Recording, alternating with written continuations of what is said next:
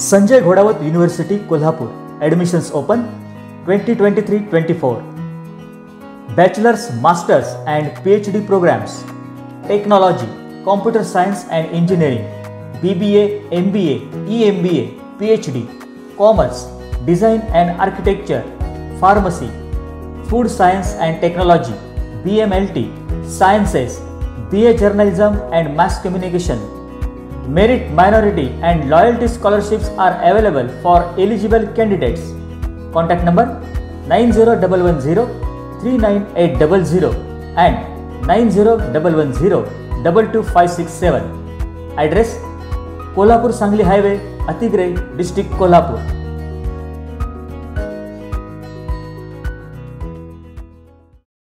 smart career अकॅडमीचे सिंधुदुर्गातील काम अत्यंत चांगले ही शाबासकी आहे माजी आय ए एस अधिकारी आणि देशाचे अधिकारी घडवणाऱ्या अविनाश धर्माधिकारी यांची. होय सरकारी नोकरीचा राजमार्ग. Smart career academy Oros Sindhudurg. Smart career academy सिंधुदुर्गच्या विद्यार्थ्यांना सरकारी नोकरी मिळतेच असा दाखला आहे. गत चौदा वर्षातला सिंधुदुर्ग जिल्ह्यातील दोनशे गावातील पाचशे पेक्षा जास्त विद्यार्थ्यांना सरकारी नोकरी देणारी संस्था. Smart career academy Oros Sindhudurg देते पोलीस भरतीपूर्व प्रशिक्षण पात्रता बारावी. शासकीय नोकरी भरतीपूर्व फाउंडेशन कोर्स पात्रता बारावी. P S I S T I M P S C राज्य सेवा प्रशिक्षण पात्रता पदवी पदवी शिक्षण घेणारे विद्यार्थी. Smart career academy Oros Sindhudurg येथे प्रवेश सुरू झाला आहे. वसतिगृहाची देखील सुविधा आहे. प्रवेश आणि अधिक माहितीसाठी कॉल करा. Nine one five eight nine one three seven four four nine four two zero eight one zero four two nine आणि eight two seven five zero eight seven nine five four smart career academy Oros. सुप्रभात नमस्कार. कोकण नऊ चॅनलवर मी सुवर्णा जाधव सर्व रसिकांचं मनापासून स्वागत करते. मंडळी अनंत फंदी म्हणतात बिकट वाट वही वाट नसावी. धोपट मार्गा सोडू नको. संसारामध्ये असा आपला उगाच भटकत फिरू नको. मंडळी जातीत विवाह करणं हा धोपट मार्ग.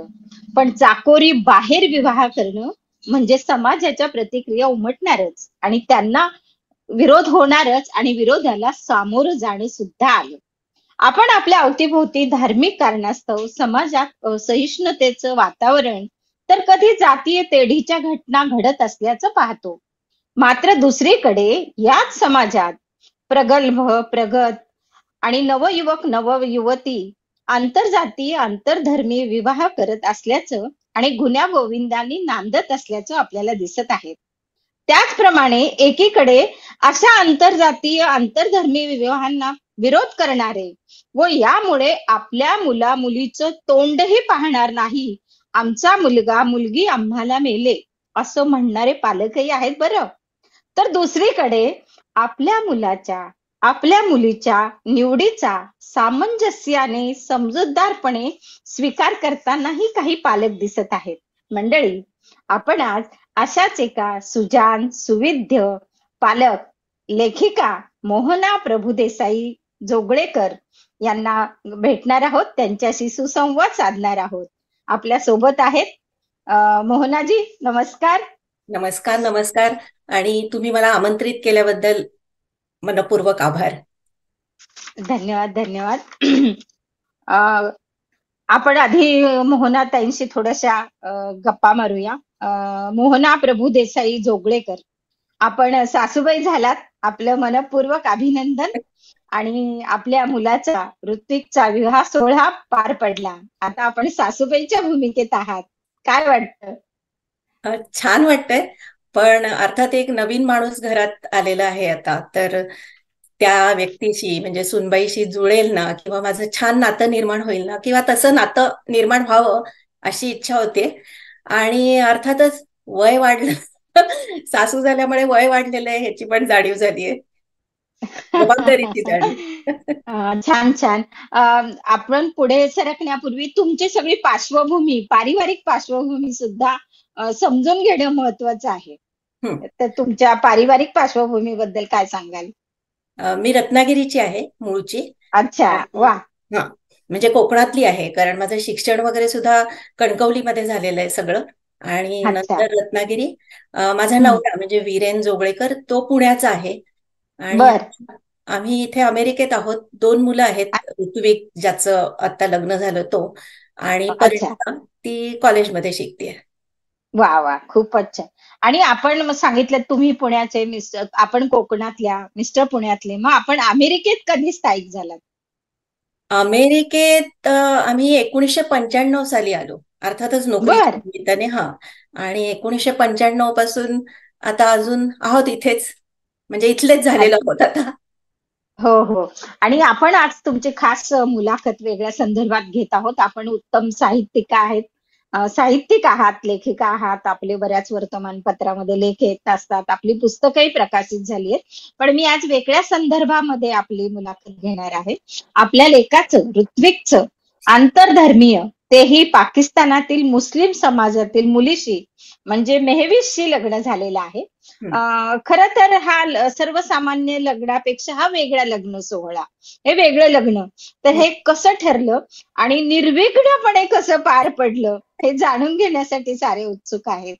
हा तर आता दोघही नोकरीच्या ठिकाणी एका गावात होते म्हणजे वॉशिंग्टन डीसीला होते दोघ जण.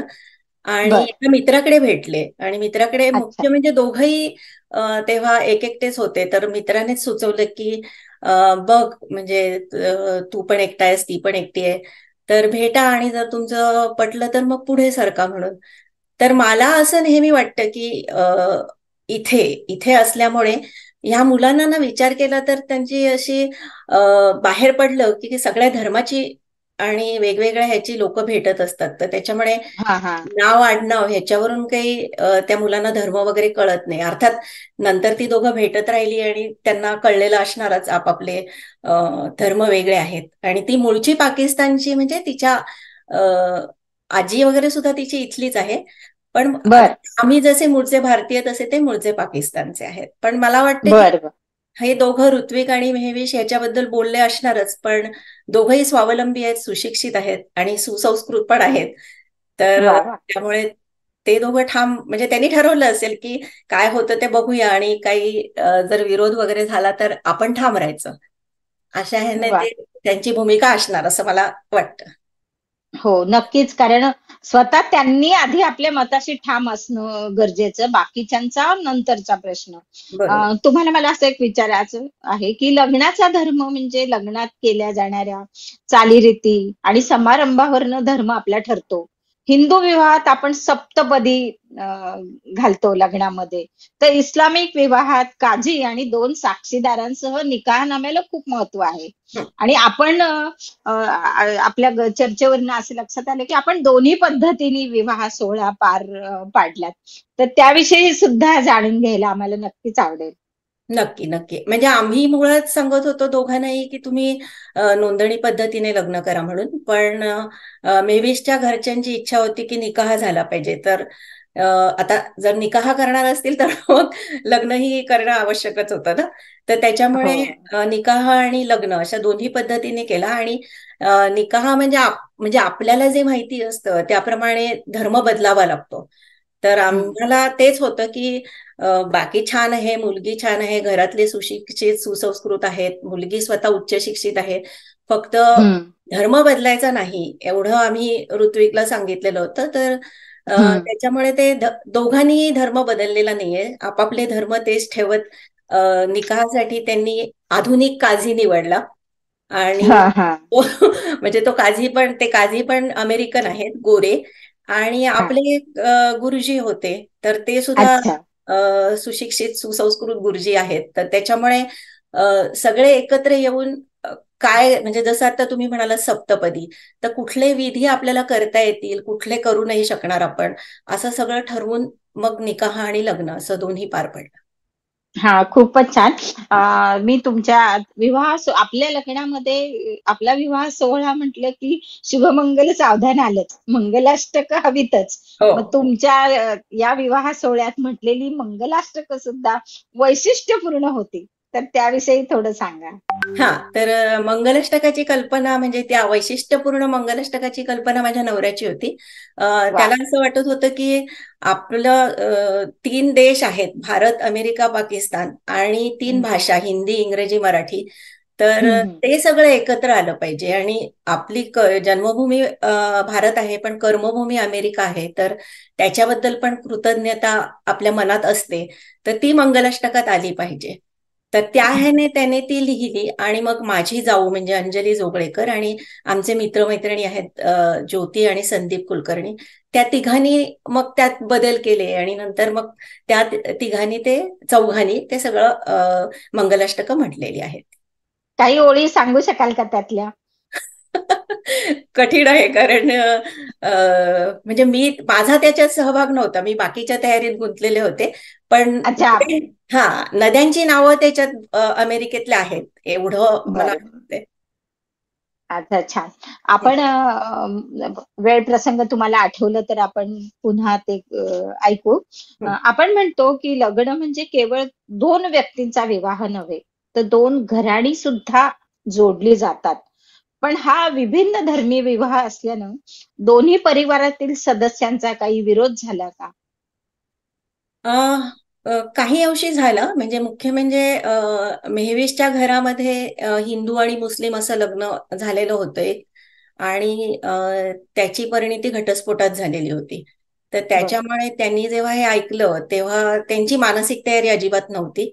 पण मला वाटतं त्यांच्याच हिंदू मित्रमैत्रिणींनी त्यांना नीट समजावून सांगितलं की म्हणजे मुलगा चांगला शिकलेला आहे आणि त्या दोघांनी जर ते ठरवलेलं आहे हे नातं त्यांचं इतकी वर्ष टिकलेलं आहे तर ते तसंच. पुढे राहील. आणि मेहवीसच्या आईचा मला फोन आलेला विचारण्यासाठी हेच की तुमची परवानगी आहे का?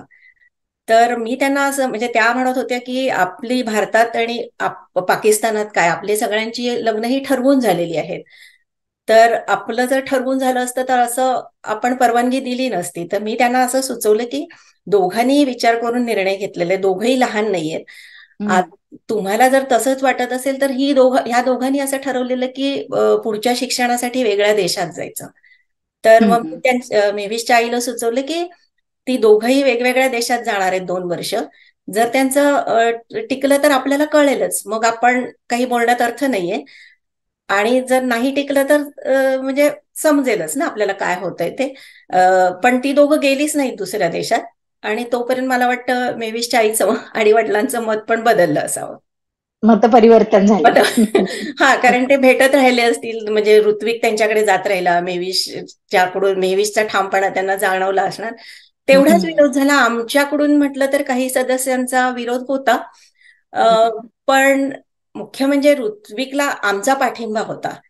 तर त्याच्यामुळे ऋत्विकच्या दृष्टीने आमच्या व्यतिरिक्त तसं विचार केला तर त्याला पर बाकीच्या कोणाच्या परवानगीची आवश्यकता नव्हती. तर त्यामुळे. असं काही फार हे झालं नाही. प्रश्न खूप होते मात्र नातेवाईकांना. हो ते तर समाज म्हटलं की ह्या सगळ्या गोष्टी ओघानं. येतातच. मोहनाजी हा खरं तर आंतरधर्मीय आंतर वेगवेगळ्या देशातला विवाह. त्यामुळं धर्मांतर कोणीतरी करायचं याविषयी सुद्धा काही प्रतिक्रिया समाजाकडून नक्कीच उमटल्या असतील. कारण दुसरा दोघांचेही धर्म वेगळे. तर त्याविषयी काय सांगाल? धर्मांतराचं म्हणजे आपल्याला सगळ्यांना असं माहीतच आहे ना की मुस्लिम समाजामध्ये जेव्हा लग्न होतात तेव्हा तुम्हाला धर्मात हे करावंच लागतं. म्हणजे धर्मांतर करावंच लागतं. तर जसं मगाशी मी म्हटलं त्याप्रमाणे आम्ही तो आम्ही ठाम होतो या बाबतीत. तर ऋत्विक असं म्हणाला की तुम्ही बोलू नका मेविशच्या बाबांशी. लग्न मी करतोय तर ती माझी जबाबदारी आहे. मी धर्मांतर करणार नाही पण मी बोलेन त्यांच्याशी. आणि त्याप्रमाणे तो त्यांच्याशी बोलला. बाकीच्या लोकांकडून मला भरपूर लोकांनी असा प्रश्न विचारले की मग तुम्ही तिला हिंदू करणार आहात का? तर आता आम्ही जर तिला हिंदू केलं तर ते पण म्हणतील ना आम्ही मग ऋत्विकला मुसलमान करतो. तर त्याच्यामुळे तो प्रश्नच नव्हता. म्हणजे कोणी कोणाचे धर्म बदलायचे नाहीत. ह्याच्यावर. ऋत्विक त्यांच्याशी बोलल्यानंतर ते इथे जवळ राहत नाहीत. त्याच्यामुळे आम्ही पण असे झूमवरच भेटायचो.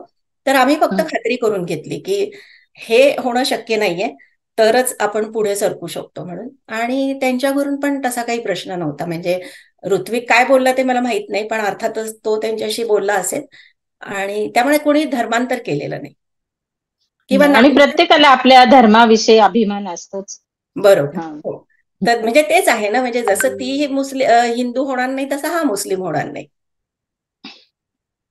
ते दोघांनी एकमेकांना स्पेस दिली आणि दोघांनी एकमेकांच्या धर्माचा आदर केला. हो, हे हो. खूपच अभिमानास्पद आणि माणुसकीच्या दृष्टिकोनातून पण खूप. अतिशय स्तुत्य उपक्रम म्हणायला हरकत नाही. ऋत्विक आणि मेहविश यांच्या विवाह सोहळ्याचे तुम्ही मला काही फोटो पाठवले होते? ते मी खूप छान पाहिले. आणि मला एक जाणवलं की लग्न परदेशात झालेलं आहे. परंतु तुम्ही पारंपरिक पद्धतीने आणि पारंपरिक वेशभूषेत मला तुम्ही सगळे दिसलात पंडित आणि काजी सुद्धा दिसले. मग परदेशात तुम्ही हे पारंपरिक वेशभूषा पंडित काजी हे सगळं कसं काय तुम्ही आयोजन केलं? म्हणजे लग्न आणि निकाह करायचं ठरलं तेव्हा असं ठरलेलं की निकाहासाठीचे कपडे ते मेविशचे आई बाबा आणतील. आणि लग्नासाठीचे आम्ही तर मग मी मेविशला विचारले की तुला अगदी पारंपरिक चालणार आहे का? तर साडी तर तिला माहिती होती कारण पाकिस्तानी लोक पण साडी नेसतातच. नऊवारी तिला माहीत नव्हती कशी असते ती. पण माझ्या नवऱ्याची इच्छा होती की सगळ्यांनी आपल्या मुलीने सुनेने बायकोने नऊवारी साडी हे करावी हा. तर मग ती म्हणाली की तू मला जे काय सांगशील ते मी करीन. म्हणजे अक्षरशः तिने नथ घातली जोडवी वगैरे हे केली. आणि नंतर ती असंही म्हणत होती लग्न लागल्यानंतर म्हणजे हा सगळा समारंभ पार पडल्यानंतर की सगळ्यात वावरायला सोपी नऊवारी साडी होती. अरे. तर त्या ह्याने मग आणि काझी म्हणजे इथे कापसे गुरुजी म्हणून आहेत त्यांनी ते. लग्न लावलं. मुख्य. म्हणजे ह्या दोन्ही ह्याच्यात काझी काय किंवा गुरुजी काय दोघांनीही भरपूर माझ्या मुलाचे आणि मुलीचे मित्रमैत्रिणी गोरे वगैरे सगळे असल्यामुळे आणि भाषेचा प्रश्न होता ना तर त्यामुळे सगळे विधी दोन्ही बाजूकडून इंग्रजीमधून पण सांगितले गेले. म्हणजे सर्वांना. समजत होतं की काय चालू आहे ते. खूपच छान. आता लग्न पार पडलं. आणि याच्यातली एखादी बाकीच्या प्रतिक्रिया येतच राहतात. पण म्हणतात ना की प्रत्येक नाण्याला दोन बाजू असतात. एखादी सकारात्मक किंवा असे चांगले सुद्धा काही घटना आणि प्रसंग या संबंधी असतीलच. हो हो हो.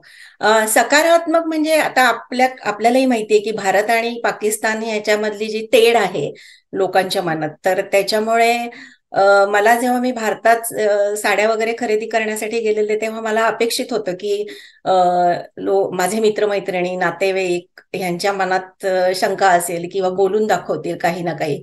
पण प्रत्यक्षात तसं झालं नाही. काही काही जण तर असे भेटले की असं व्हायला पाहिजे आता अशी ठरवून लग्न व्हायला हवीत. आपण या सगळ्यातून बाहेर पडलं पाहिजे की जात धर्म. आणि आता तुम्ही मला म्हणाल की आता तुमच्या ओळखीचे होते किंवा नातेवाईक असतील तर ते तोंडावर कसं बोलतील? तर ती एक. शक्यता आहे पण निदान मला माझे मित्रमैत्रिणी तरी माहिती आहेत की जे उगाच काहीतरी खोटं सांगणार नाहीत किंवा मला आनंद मिळावा म्हणून बोलणार नाहीत. पण त्यांचा हा जो दृष्टिकोन होता तो मला खूप सकारात्मक वाटला. कारण जे आपण समाज माध्यमांमध्ये वाचतो ऐकतो त्याच्यावरून असं वाटत होतं की बापरे पाकिस्तानी मुलगी मुसलमान इथपर्यंत ठीक आहे पण पाकिस्तानी मुस मुलगी आहे पाकिस्तानी मुसलमान आहे हे सांगितल्यावर काय हो हो. ना. पण प्रत्यक्षात मला तसं नाही अनुभव आला. तर मला हे खूप सकारात्मक वाटलं. खरं आणि प्रेमामध्ये जात धर्म देश सगळे गळून पडतात. परंतु आपल्याला ज्या समाजात राहायचंय त्याचाही कधी कधी विचार आपल्याला करावा लागतो. तर आपले खूपसे नातेवाईक सुद्धा या समारंभाला आले असतील. हो. त्यांच्याही काय प्रतिक्रिया होत्या या लग्नाविषयी? अं, म्हणजे नातेवाईकांना प्रश्न नक्कीच होते किंवा त्या ह्याच्यामधले जे धोके आहेत त्यांच्या दृष्टीने ते त्यांनी. मला सांगाय सांगितले. पण मला नेहमी मला असं वाटतं की भारतात राहणं वेगळं आहे आणि इथे राहणं वेगळं आहे.